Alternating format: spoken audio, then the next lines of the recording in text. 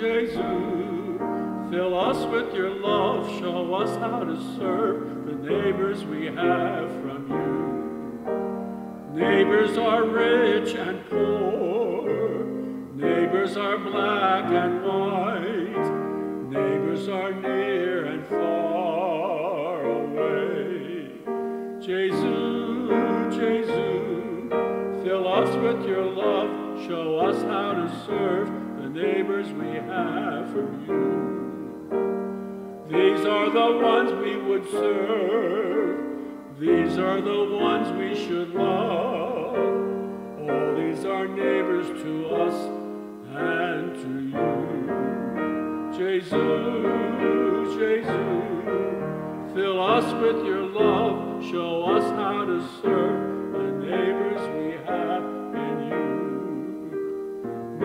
at the feet of our friends silently washing their feet. This is the way we should live with you. Jesu, Jesu, fill us with your love. Show us how to serve the neighbors we have from you.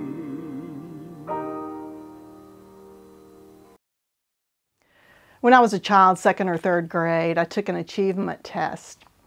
And one of the statements was true or false. A neighbor is someone who lives close to you. My mother was a teacher at the time and she didn't like for me to miss any questions, especially if I knew the answer. So she said, Why did you put false? I said, Because our neighbors don't live anywhere near us. And she said, This test is regionally biased.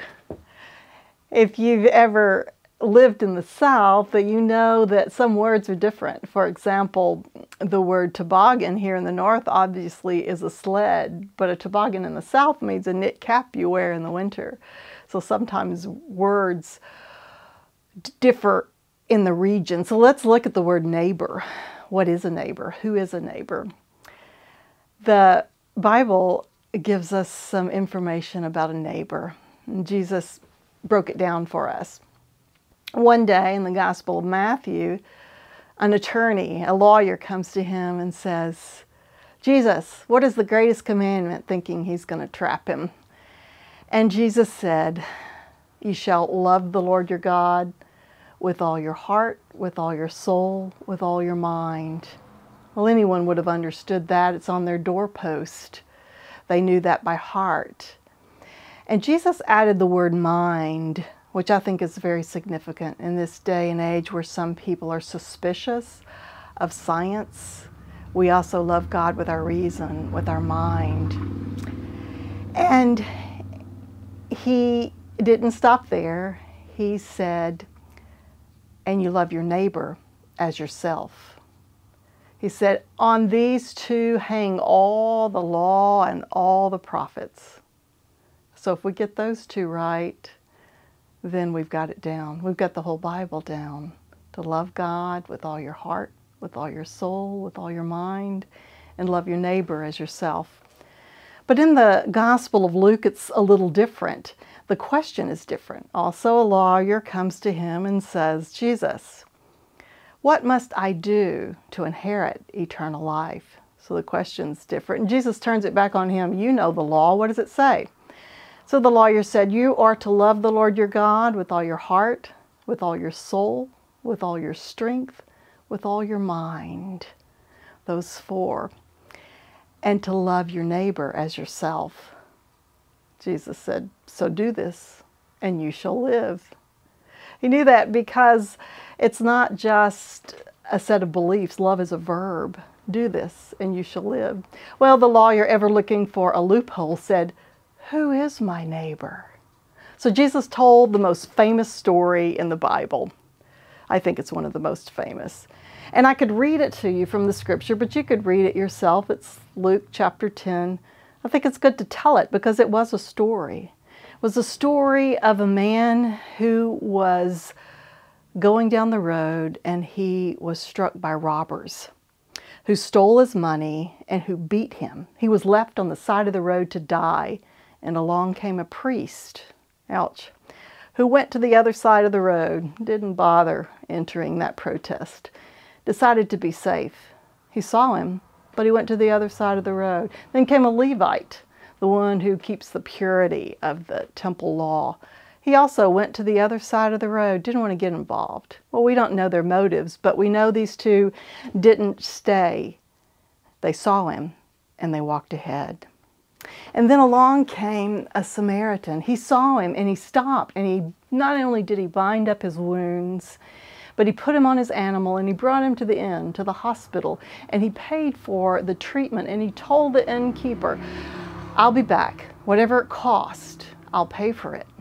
That's the end of the story. And Jesus said, So, who was the neighbor to the one who fell among the robbers? Now remember the question Who is my neighbor? Who was the neighbor to the one who fell among the robbers? So, who are you in this scenario? You are not the Good Samaritan. You are the one who was robbed. I think that's important because when we realize we have been in need, we tend to give to others. So the lawyer said, the one who helped, the Samaritan who helped. So Jesus made it very simple. He made it so that any of us could understand. Even a child can get the gist of the Good Samaritan.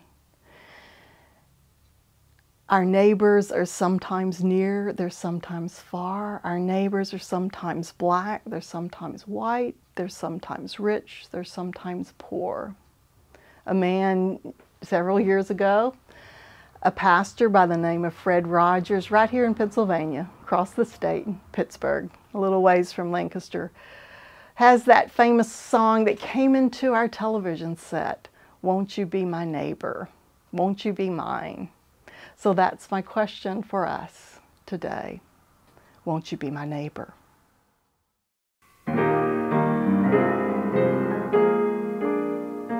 It's a beautiful day in the neighborhood, a beautiful day for a neighbor. Would you be mine? Could you be mine? It's a beautiful day in this beautywood, a beautiful day for a beauty. Won't you be mine? could you be mine?